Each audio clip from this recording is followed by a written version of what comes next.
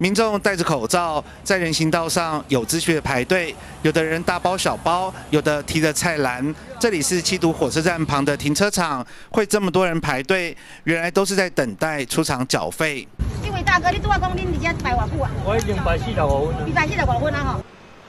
民众越排越生气，地点在七堵火车站旁的停车场。二十一号上午，不少民众到南新市场买菜。但出厂要缴交停车费，却排了好几个小时，民众怨声四起。市议员杨秀玉也前往关心，协调警方找来业者，直接打开栅栏。因这边七堵区南新市场刚好在对面，那我有这个需求量，那我是觉得说交通处他们当时在规划的时候没有做周，没有完全的一个做周延的一个细腻的一个一个分析哈，因为这里就是说南新市场，那人流的一个流动率会比较高。好，加上我们这里可能还有一些固定的，哦，就是当地的居民可能会承租。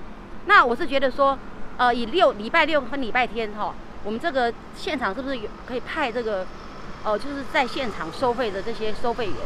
那还有就是说，我们这个机器只有一台绝对不够，因为这里的停车，据我所了，据我所了解，大概有三百个位置。其实这座七堵停车场是是符合国有财产署合作开发，五月才刚刚开放使用。因为临近火车站和南新市场，每到假日车位难求，场内共有三百个停车位，却只有一台缴费机，车潮一多，根本负荷不了。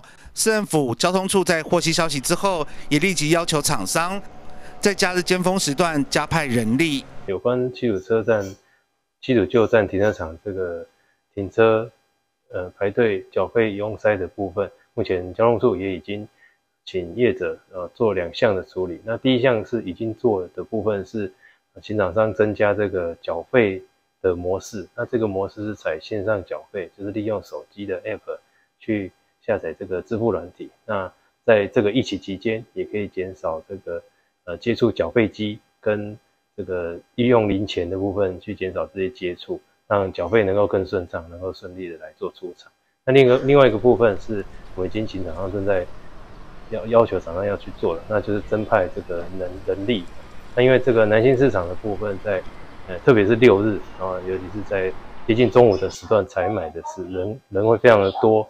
那相对的，呃场内的一些出不管是缴费也好，出场也好，都会有一些呃零星的零零星的这个。民众需要停放或者是出厂的需求，那我们希望借由这个呃人力派驻的部分，能够增加这个服务的品质跟水准，然后减少这些呃会有呃临时的突发状况没有办法立刻处理的部分。民众只希望业者在增设缴费机，而市府强调会督促厂商做好服务，不让这排队之乱再次重演。记者黄少明金融报道。